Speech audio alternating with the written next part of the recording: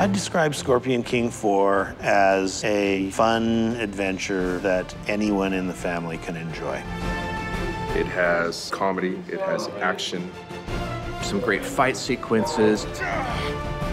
On horseback, jumping off of walls, flying through the air. There's intrigue, there's humor, there's some romance. There's more fighting. It's a really fun ride.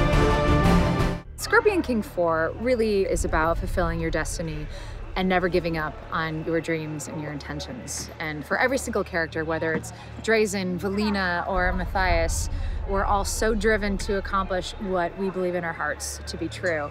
And we're willing to live and die for it. Live free. Die well. We're, we're freed up a little bit uh, from the last picture because in the last picture, the Scorpion King was, was a much more brooding, dark person. In this picture, he's past that and he's able to present the Joker side of himself just a little bit more.